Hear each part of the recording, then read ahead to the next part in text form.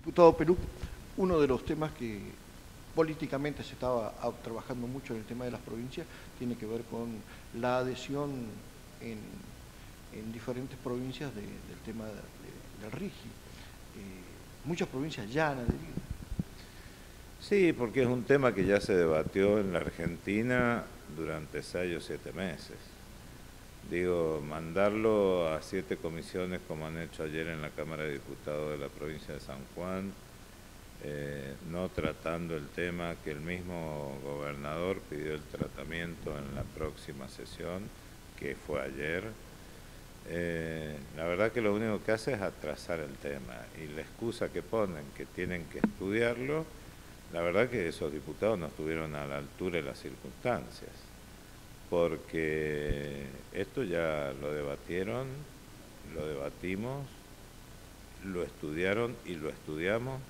Hasta el último periodista estudió esta ley durante tanto tiempo. La verdad que, es una desilusión que ese cuerpo legislativo eh, crea que tiene que debatir algo que se tiene que decir que sí o que no.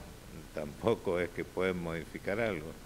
de hecho, uno mira nacional, provincias que tienen una historia, si se quiere, hasta antiminera como Mendoza, ya lo aprobado. Por supuesto, porque se entiende que de la política este, este, este plan, este proyecto en su momento y ahora ley, eh, ya tuvo su debate. todos esos, esos diputados de la provincia de San Juan tienen representantes a nivel nacional y me imagino que para que sus representantes pudieran acompañar o no, lo estudiaron y lo debatieron dentro del seno del partido también. Digo, no sé qué más tiempo el que quieren. Miren, no están viendo la necesidad de la sociedad.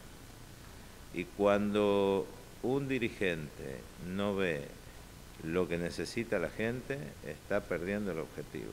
Y lo que pasó ayer seña que esa Cámara de Diputados no está a la altura de las circunstancias de lo que la gente necesita. Nosotros necesitamos la ley del RIGI para que esto arranque. Y esto lo único que hace es atrasar una semana, dos semanas, tres semanas, lo que vaya a ser eh, a la provincia de San Juan y a los empresarios. Los empresarios de viva voz están pidiendo a través de sus cámaras eh, que por favor lo aprueben. No eso es lo que han hecho los diputados provinciales no están a la altura de las circunstancias. El dirigente que no está a la altura de la necesidad de la gente debería pensar en, retirarse y que pase el que sigue.